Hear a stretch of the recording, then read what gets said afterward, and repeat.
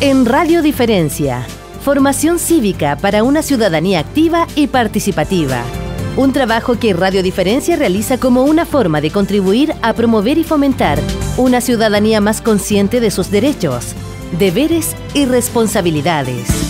Recuerda, en Radio Diferencia, desde el 5 de septiembre en la señal 95.3. Formación cívica para una ciudadanía activa y participativa. Este programa llega a sus hogares gracias al financiamiento del Fondo de Fomento de Medios de Comunicación Social del Gobierno de Chile.